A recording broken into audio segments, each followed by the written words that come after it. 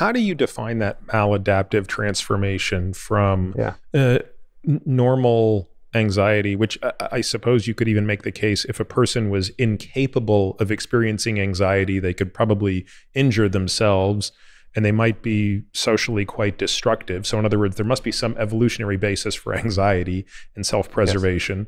Uh, but as you point out, uh, I can't imagine anybody listening to this hasn't been personally experienced uh, or hasn't personally experienced or known somebody who has experienced anxiety that has crossed too far. But but it, I mean, is this something that falls into the DSM five where there's an actual criteria? I mean, there must be, right? Yes.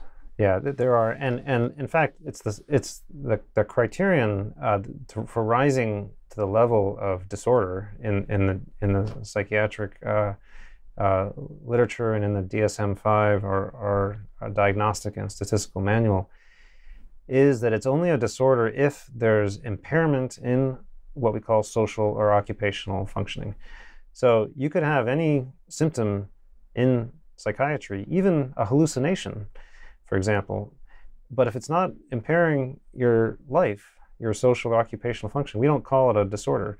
And in fact, I've had patients who who were who were hallucinating, but it was in a way that was not disrupting their life. I had a blind patient who had visual hallucinations, but he was he was fine with them. They weren't uh, distressing to him, and so we wouldn't say it's a disorder. It's Mm. just something happening.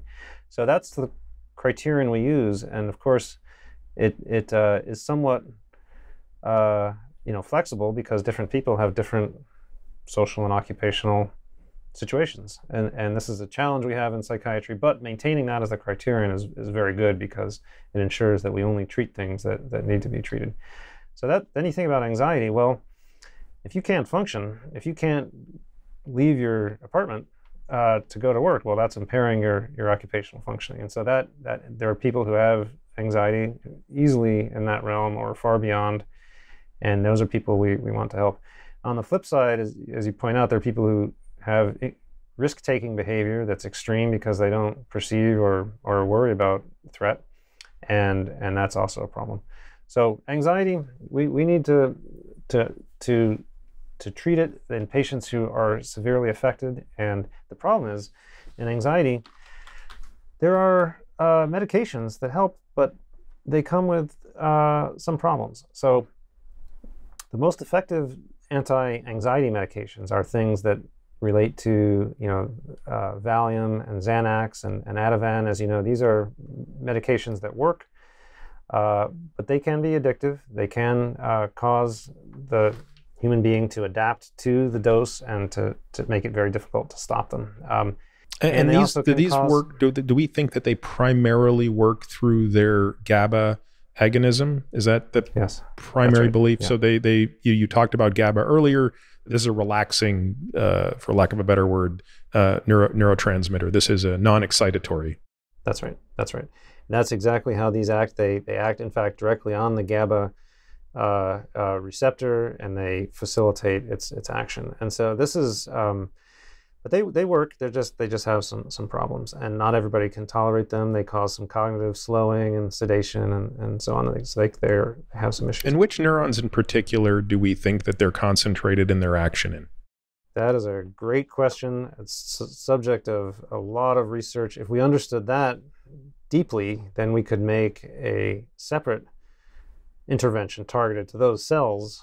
The problem is that we don't yet know that exactly. We don't know exactly which cells are the most anxiety relevant cells that these these medications are, are targeting. Um, there are some some hints, but I would say not factually known yet. So but but you're getting to this key point where optogenetics was helpful because then we could ask that and answer that question. We could say, okay, which cells govern the different uh, features of anxiety? And then now, what am I talking about here with different features? Well, actually, this is kind of interesting when you think about it. So, what is anxiety? Well, it's actually got different parts to it.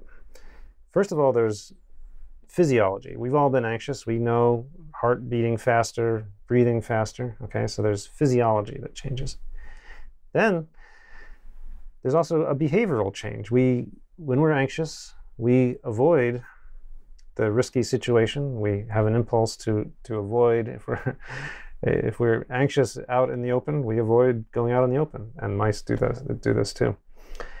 And then finally, there's a negative quality to it, which this is the, this is the negative valence. This is the hardest is the part to put your finger on. this is the hardest part to put your finger on, and it's the most mysterious and Perhaps the most Kinda seems- difficult, but meaning the most perhaps the most difficult to experience.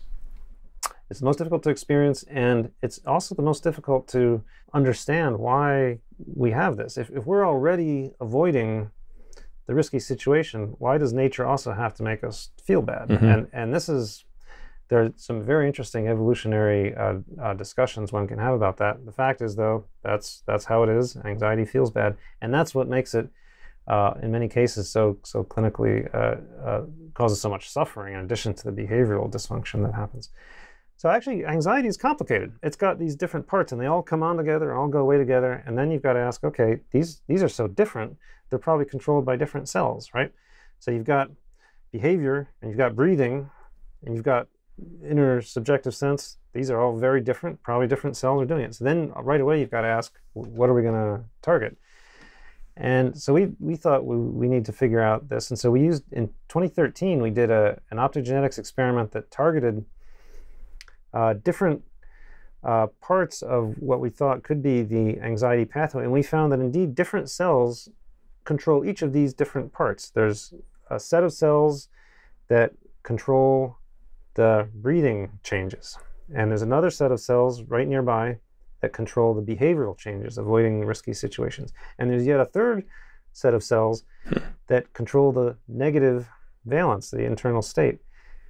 Each cleanly controls a separate feature of anxiety. And we did this with optogenetics, e- introducing light sensitivity. and then reproducing each of these completely distinct manifestations of anxiety. Exactly, exactly. So you, we could we found we could turn up or down each feature in mice completely separately from the others. We could have animals that, and this this got so interesting philosophically. We could make animals uh, avoid the open area, the exposed realm that that people and mice, but we don't. Many people don't like being out in exposed areas. Mice definitely don't, because that's when they they're going to get eaten. Uh, we could make mice in, be much more uh, avoidant of an open space with a specific cell type optogenetic intervention. But the mice didn't care that this was happening. There was no negative valence to it. And this was so interesting that, that you, we could create the behavioral avoidance of anxiety without the mice without the negative feeling. having this negativity. And so that and, and it turns out then that, that behavioral states that, that, that mammals have, they can be cleanly broken apart into these features, and we could show that with optogenetics. This podcast is for general informational purposes only and does not constitute the practice of medicine, nursing, or other professional healthcare services, including the giving of medical advice. No doctor patient relationship is formed. The use of this information and the materials linked to this podcast is at the user's own risk. The content on this podcast is not intended to be a substitute for professional medical advice, diagnosis, or treatment. Users should not disregard or delay in obtaining medical advice from any medical condition they have, and they should seek the assistance of their healthcare professionals for any such conditions. Finally, I take conflicts of interest very seriously. For all of my disclosures and the companies I invest in or advise, please visit peterattiamd.com forward slash about, where I keep an up to date and active list of such companies.